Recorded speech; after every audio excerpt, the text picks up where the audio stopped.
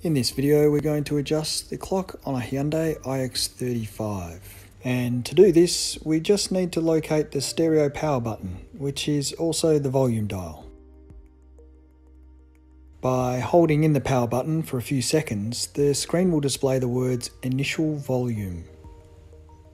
Turn the volume dial to the left or right and it will change the display to read clock setting. Quickly press on the power button again and the time will appear with the hour highlighted. Turn the volume dial and this will adjust the hour.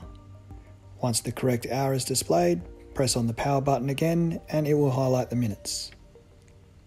Turn the volume dial until the minutes are correct and then press on the power button once again to save the change.